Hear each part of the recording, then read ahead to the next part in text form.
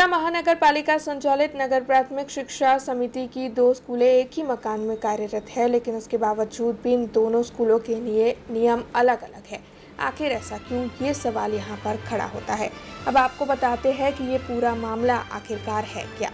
दरअसल नगर प्राथमिक शिक्षा समिति की मगन भाई शंकर भाई पटेल गुजराती स्कूल और परम पूज्य माधवराव गोवड़कर मराठी स्कूल एक ही मकान में चलती है। ऐसे मराठी स्कूल को जीर्ण होने के चलते नोटिस देकर बंद कर दिया गया है, लेकिन गुजराती स्कूल अब भी उसी जगह पर चालू है। ऐसे में आखिरकार एक ही मकान में कार्यरत इन दोनों स्कूलों के लिए नियम भला अलग कैसे हो सकते हैं, ये सवाल यहाँ पर उठ खड़ा होता है। गुजराती स्कूल को भी जल्द से जल्द बंद किया जाना चाहिए ऐसे में अगर बच्चों के साथ कोई हादसा हुआ तो उसका जिम्मेदार कौन होगा ये सारे सवाल उठाते हुए कॉरपोरेटर बालू सुलभे की ओर से आज म्यूनिसिपल कमिश्नर दिलीप राणा को आवेदन पत्र दिया गया है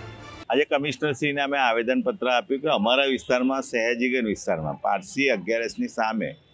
શિક્ષણ સમિતિની સ્કૂલો આવી છે અને એક મરાઠી સ્કૂલ છે અને એની અંદર એક જ કમ્પાઉન્ડમાં બે બે સ્કૂલો ચાલે છે. એક બાજુમાં ગુજરાતી મીડિયમની સ્કૂલ. અને એ સ્કૂલ જર્જરિત બિલ્ડિંગ હોવાના લીધે મરાઠી મીડિયમ સ્કૂલની તઈ બોટ દુર્ઘટના થયા પછી નોટિસ લગાવવામાં આવી છે કે સ્કૂલ બંધ કરી દેવામાં આવી છે. એટલે કમિશનરશ્રીના મેં એ જ રજૂઆત કરી છે કે એક જ કમ્પાઉન્ડમાં બે સ્કૂલ હોવાના લીધે આગળની બિલ્ડિંગ જ્યારે જર્જરિત છે ત્યારે પાછળના બાળકો સ્કૂલમાં જાય તો એમને કોઈ નુકસાન ના થાય, કેમ કે આગળની એટલી જર્જરિત છે મોટા મોટા સ્લેબ પડીને કોઈને ઈજા થતી હોય છે, નાની મોટી, એટલે એનું ખાસ ધ્યાન રાખીને. અને આવનારું બજેટ છે, એ બજેટની અંદર નવી સ્કૂલ વહેલી તકે બનાવવામાં આવે કે વિસ્તારના જે, અમારા વિસ્તારના ગરીબને મધ્યમ વર્ગના બાળકોને આવનારું વર્ષમાં તે સ્કૂલમાં ભણી શકે, એટલે આ બજેટમાં કામ લેવાથી વહેલી તકે તે સ્કૂલ બનાવવામાં આવે એવી અમે કમિશનરશ્રીને રજૂઆત કરીને કમિશનરશ્રીએ અમને બાહેદારી આપી છે કે વહેલી તકે આ બજેટમાં પણ કામ લઈ લઈશું અને વહેલી તકે જે જર્જરિત બિલ્ડિંગ છે એ તોડીને એની